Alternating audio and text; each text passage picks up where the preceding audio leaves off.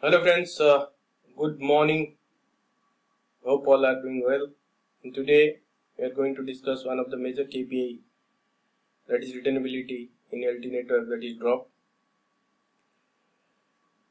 Before we start, uh, if you have any suggestions and query related to this, you can directly reach out uh, through my Facebook page on official LT or you can contact me in below mail ID dasmanoranjan123 at gmail.com. Let's start.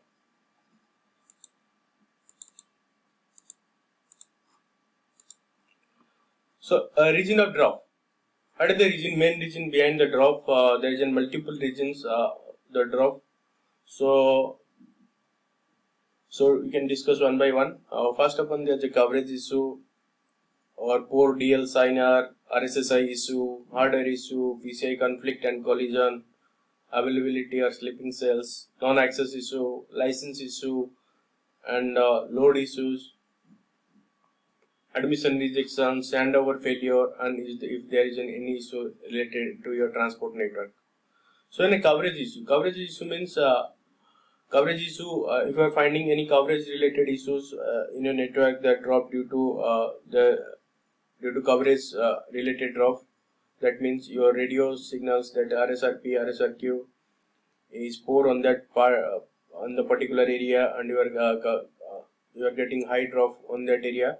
So you can check this this parameter maximum transmission power, part of sector power, and what are the configuration output power, CRS gain, and PDCH, uh, SCH type gains.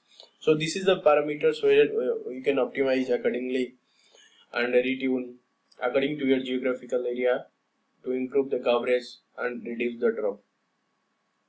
And second point is poor DL SINR. Poor DL SINR that is uh, that is uh, if you are getting the SINR is poor. SINR may be poor due to uh, your interference is there or not. You can check if there is in high interference. There is in SINR is poor, and if the SINR poor, poor that there may be uh, uh, that uh, you, can, you can find out there more drop on that particular area. So you can optimize on that by physical changing by electrical or mechanical tilt on that particular area.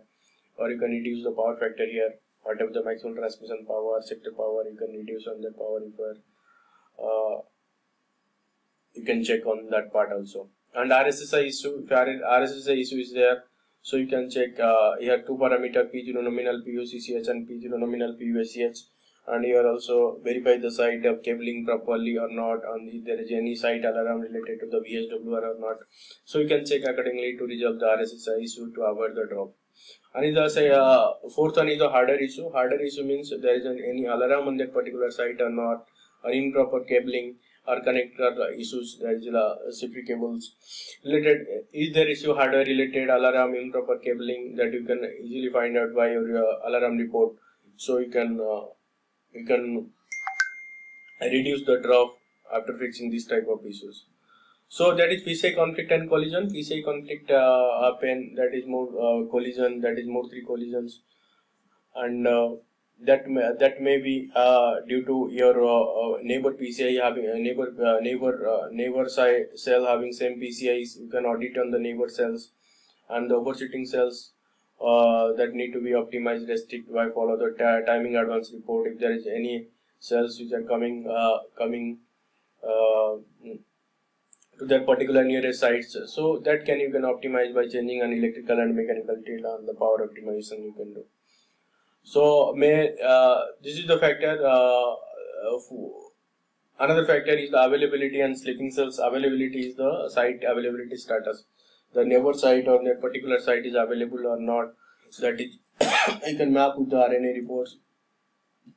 And also there is a sleeping cell sleeping cells criteria. If there is a cell is sleep sleeping mode that means the uh, you are not getting any response on that particular cells and the user is not latching on the neighbor cells. So you can optimize on the sleeping cells. How can you optimize if there is a traffic zero RRC connected user zero and handout traffic zero on that particular cell you can reset fast up and you can reset on that particular cells on soft reset.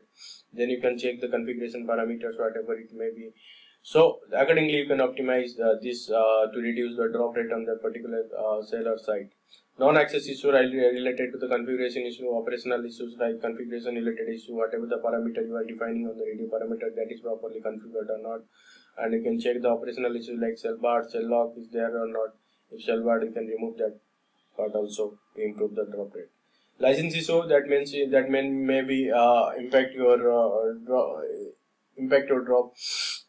That is RSC connected user and drive license uh, and your uh, maximum user uh, connected at a time on that particular uh, cell or sector. So that that you can optimize and if you require you can increase the license also on that particular side. You can also optimize the processor load. Processor load whatever the processor may load be if there is greater than 80 percent processor load you can optimize by sharing the traffic to the neighbor cells and uh, to reduce the drop admission rejections admission rejections due to the transmission network bandwidth DL and UL, whatever the bandwidth you have definitions, if you are 10 megahertz bandwidth, 5 megahertz bandwidth, and 20 megahertz bandwidth that is defined properly or not, that you can check. And if it, that is not defined, you can define on that particular part to uh, to uh, uh, to fix admission rejections issue. There is a ma major impact, major major major uh, we are getting that related to the handover failure and transport network issue. If there is handover failure is high and the transport network issue is there, the, you are getting the high drop on that particular area or particular site. So handover failure, you can analyze the report interfrequency, interfrequency handovers.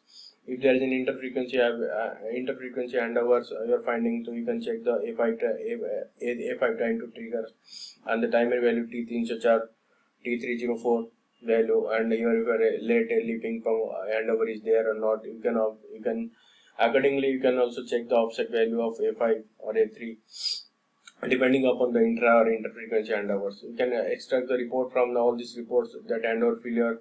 If the handover failure is the, you can uh, extract the TA report and if the handover failure uh, due to the mm, far, far side, so that distance is the 4 kilometer, 5 kilometers. So that you can optimize or you can uh, trigger these uh, thresholds to improve in your network. So if there are late, early and ping pong handover, you can optimize accordingly. The that is a CIO offset. You can optimize the CIO offset to reduce the late, early and ping pong handover. So next point, the transport network layer issue. Transport network issue. There is an, an, issue related to the TNL failure, transmission error, transmission utilization, SDMMS error, or CRC error in your network. Then you are getting the high drop on that particular area or particular sites.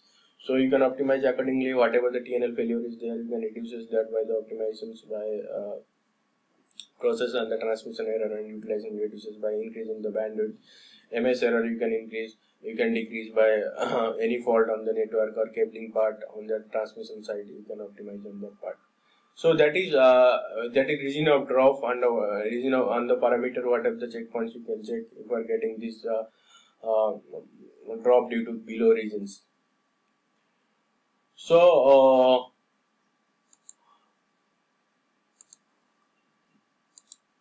hope you like this video. If you have any query, you can get back to me. Thank you. Thanks for your time. Have a good day.